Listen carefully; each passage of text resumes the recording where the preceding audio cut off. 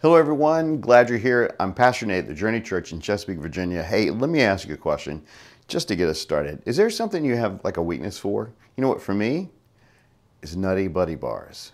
I love those things. Those little Debbie Nutty Buddy bars. You know, I know that sugar's not a good thing, but those little yellow boxes, they just seem to appear when I'm walking through the grocery store.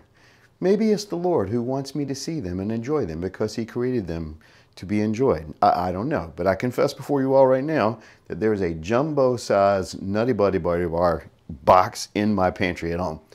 I got it at uh, Sam's, which is like one of those Price Club Costco places, and it was amazing. It's still there. I'm working on it. Maybe you have a weakness that's, you know, it's not that harsh.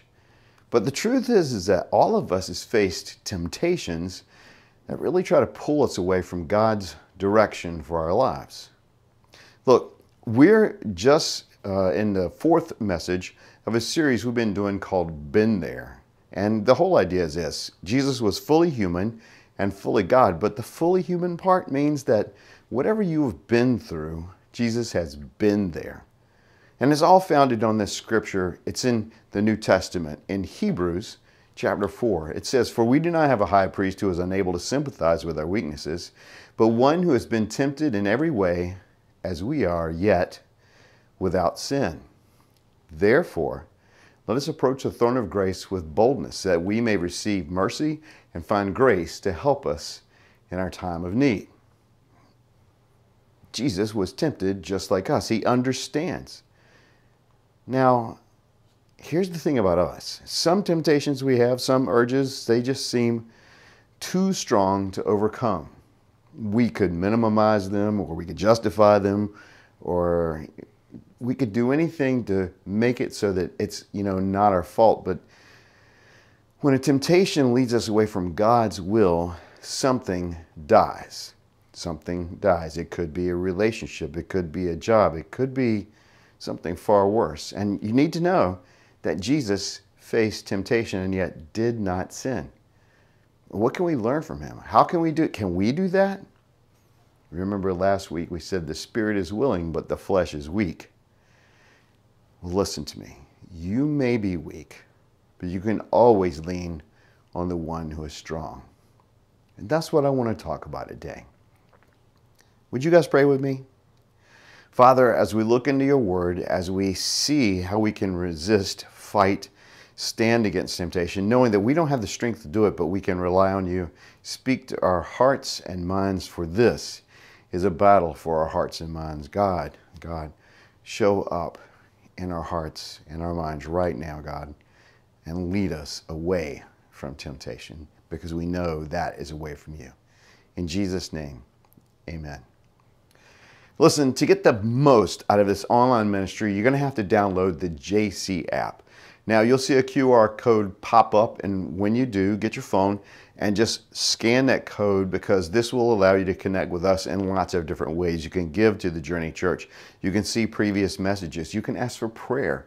You can find out what's going on. And I want you to do that. And while you're doing that, let me give you something to think about so that you can pause the video for a second. Here's what I want you to think about to get our minds going in this direction. Look, do you have a weakness for something that's not so debilitating like, you know, chocolate or maybe you have a weakness for donuts or Maybe you have a weakness for anything that doesn't seem debilitating, but you know, it's a weakness. It's not the best, but it's not the worst either. So maybe you can think about that, reflect on it for a couple of minutes. I want you to pause the video. Maybe you can discuss it with someone.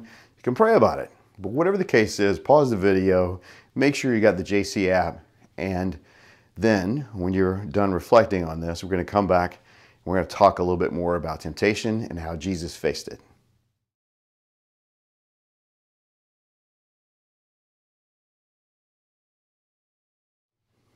right at the very beginning of Jesus' ministry, right at the very beginning of Jesus' ministry, he was tempted. Now, he's baptized by his cousin, John the Baptist, and once he committed to acting on God's call in his life, it was on. A battle began to be obvious. Here's how scripture talks about it. Then Jesus was led up by the Spirit into the wilderness to be tempted by the devil. After he'd fasted 40 days and 40 nights, he was hungry, which makes perfect sense, right? I mean, if you don't eat for 40 days and 40 nights, you will be hungry. Here's what happened next, though. The tempter approached him and said, If you're the Son of God, tell these stones to become bread. Now, I want you to make an observation here. Who is tempting Jesus? Who, who is tempting him? Now, certainly God led him into the wilderness, but who is tempting him? And so, what is temptation anyway? I mean, let's just define that for a second. There's a quote by a man named Tim Challies, and it says that temptation is anything that promises satisfaction at the cost of your obedience to God.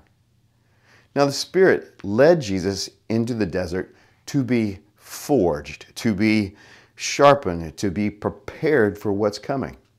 You know, we forget that strength really comes with challenge and suffering. Remember, we said that if there's no occasion to rise to, no one rises to the occasion. So God shapes us in the toughest times. He leads us into places where we are shaped to be strong in the face of challenge. And that's the trick because when you are weak, that's when this tempter, our enemy, comes. And I, I look at temptation not only as obedience to God being lost, but you know, in reality, temptation offers usually short term satisfaction at the expense of long term joy, which is really the definition of immaturity. So God takes us to places to be challenged so that we can grow. The Spirit led Jesus into the desert to be forged for the mission he had ahead of him. But we get into these situations that are challenging and we feel weak, you know. You you may feel weak and this is when the tempter comes. You're in physical pain and you take medicine to relieve the pain, but the trouble is some of us when we're in emotional pain, we'll be tempted to medicate our pain the same way. Maybe you're feeling emotionally empty you may be tempted to fill that place with an inappropriate relationship or pornography. You hurt because you don't feel valuable or worthy, so someone else may become the target of your verbal disdain, your gossip, your slander. Temptation promises satisfaction at the cost of your disobedience to God. Yet, God wants the best for you. Temptation takes you away from God's direction for your life it leads you to sin. You know what sin is? Sin is always the wrong direction. Sin is always away from God. So temptation kind of has this process. What is the process of temptation? And I've kind of talked about this before, but just to be clear, here's what I think the process is. We have a thought that evokes a feeling and becomes an action. Now, maybe something triggers our appetite, whatever our appetite is, but when we have a thought, we think something may be better for us. Maybe we think we're missing out. Maybe we think that would be awesome, but a desire begins to emerge.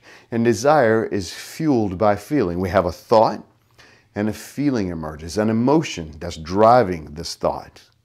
And I want you to be clear it's the emotion that causes so much damage, a desire within us, usually for us, about us. It's sort of self centered.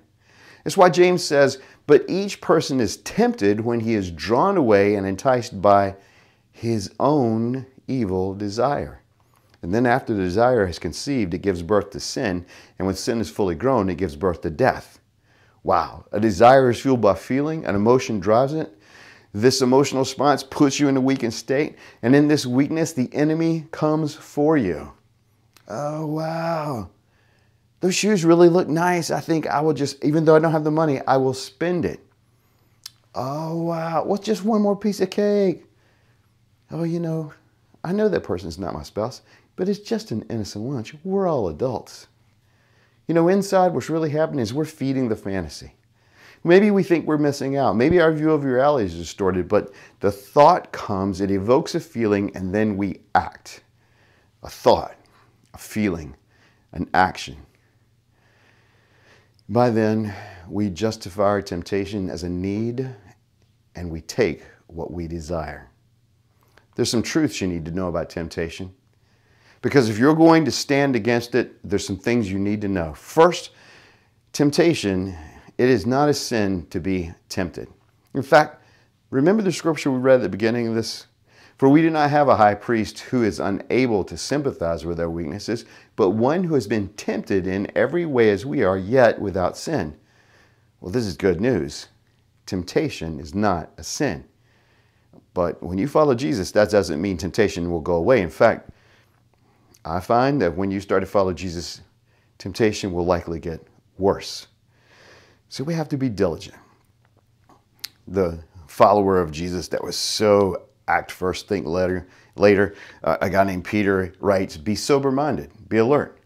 Your adversary, the devil, is prowling around like a roaring lion, looking for someone, anyone he can devour.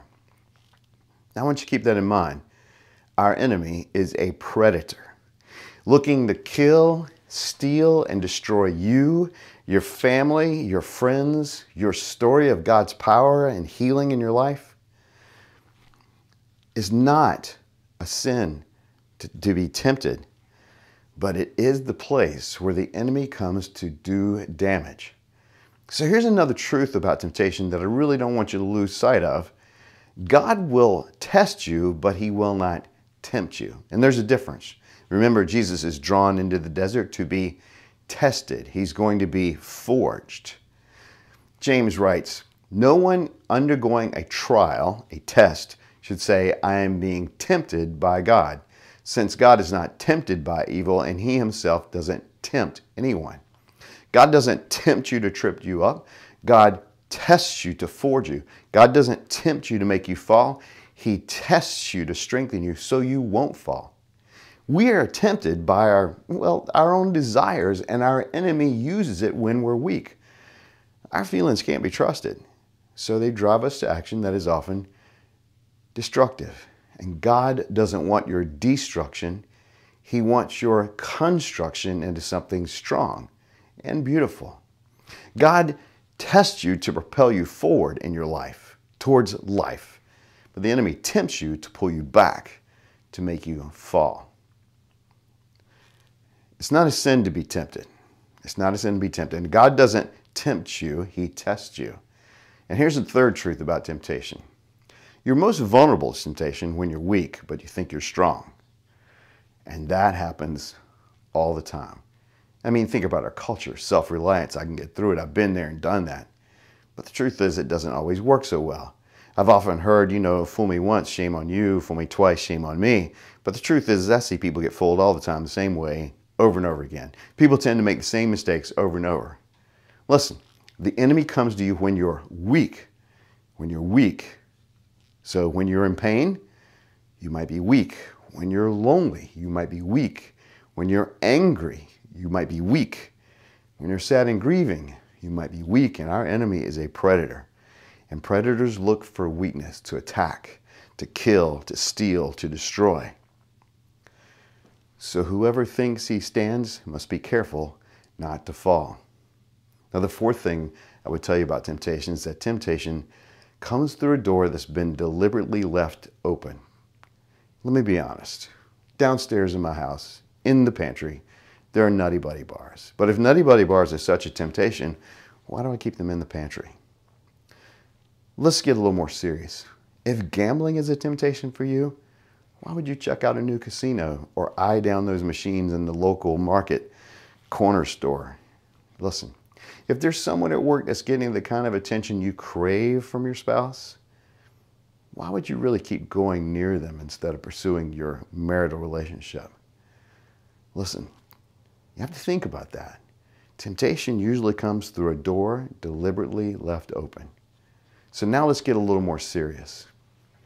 Is there a temptation you struggle with? I want you to pause the video right now and I want you to pray about this and ask God to show you a place where you might be weak, where the enemy is looking to kill, steal, or destroy in your life. After you pause the video, we'll come back. We'll talk about some simple ways to resist temptation.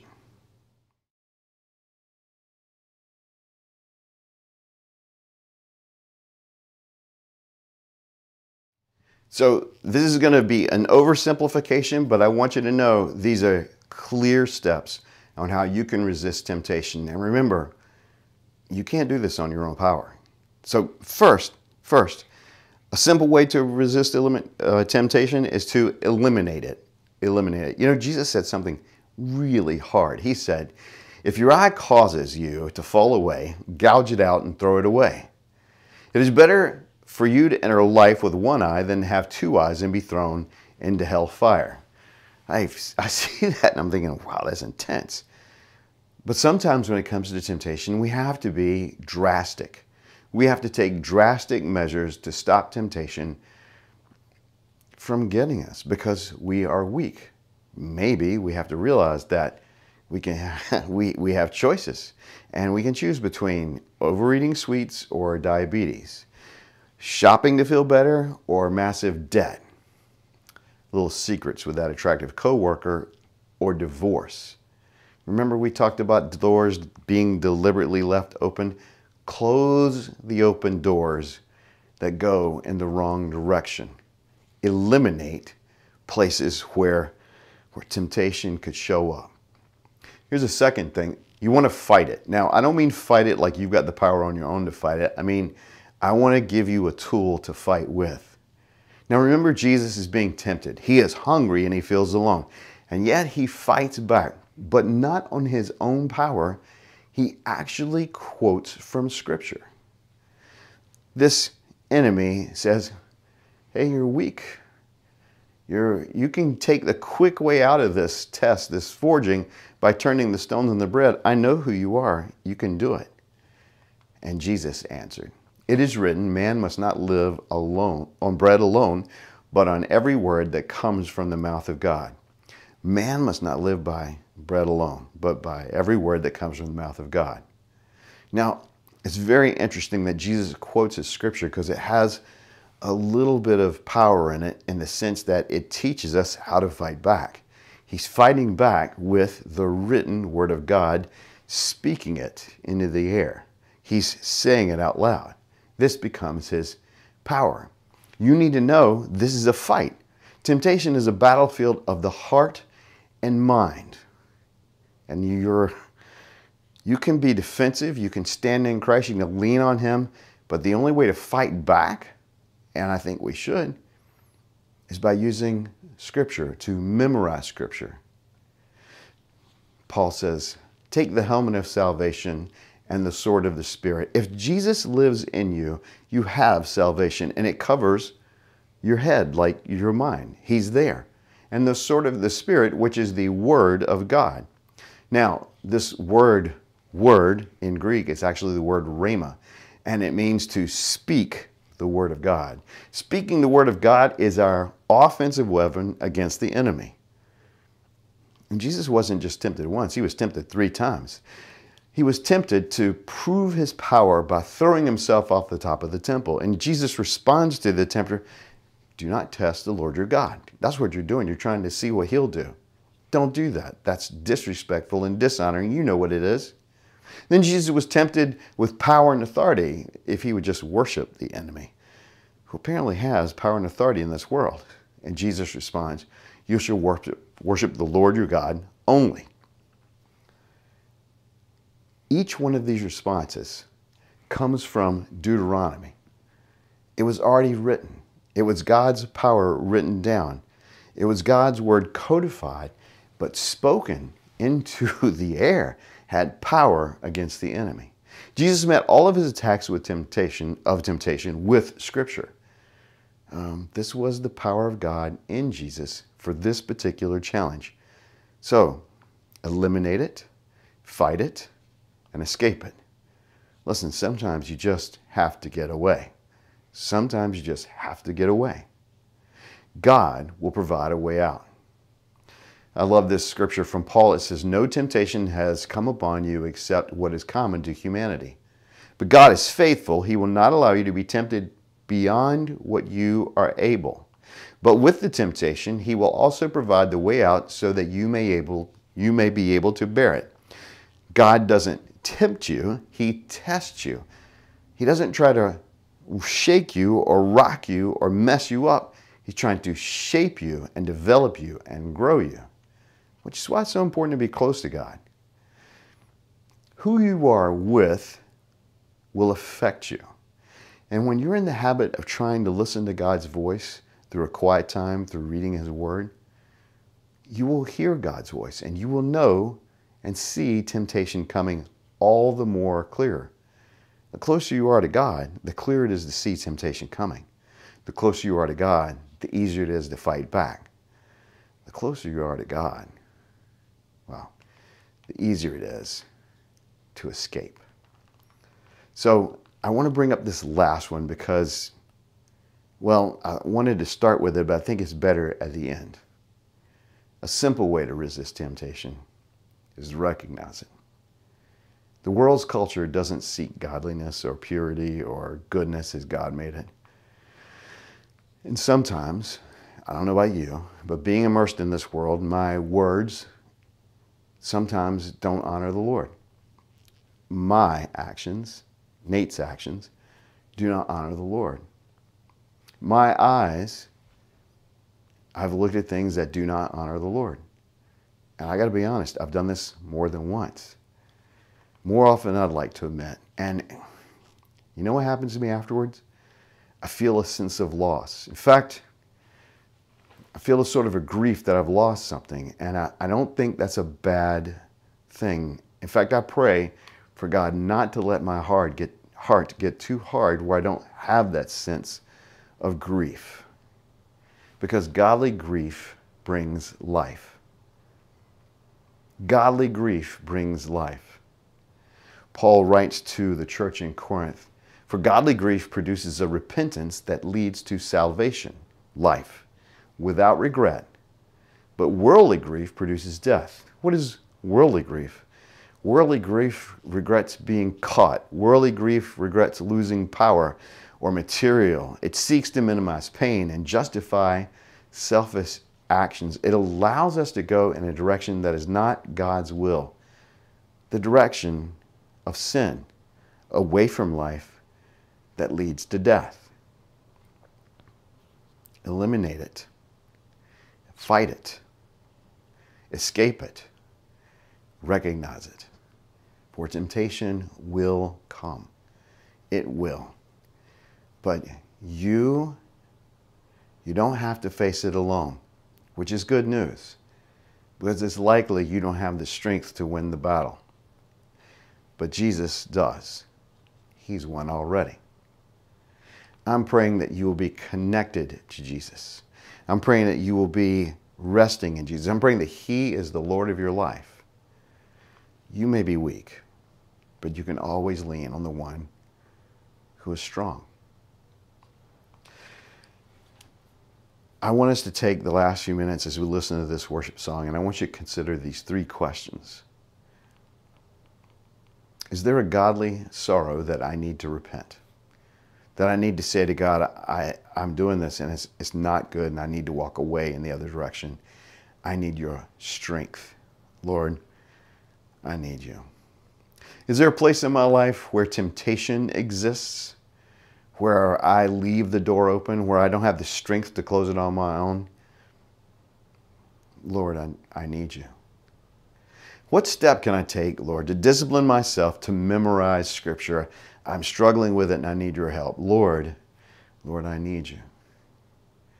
I'm praying that you'll spend this last few moments praying, Lord, I need you. Is there a sorrow? Is there a place in my life? How can I minimize Scripture? And I'm praying that God will strengthen you. God wants the best for you. And honestly, we don't have the strength to fight all the temptations that come our way, but Jesus does.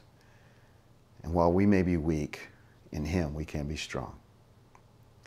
Father, I pray for everyone as they, as they listen to this worship song, that you speak into their hearts and minds, that you strengthen them, that you draw them to you, that we can walk away from the temptations of this world and walk into a life of goodness, of purity, of hope and healing and wholeness. Lord, let us exist to engage others with the love of Christ so that all families may find hope and healing and wholeness. In Jesus' name, amen. Let's worship together.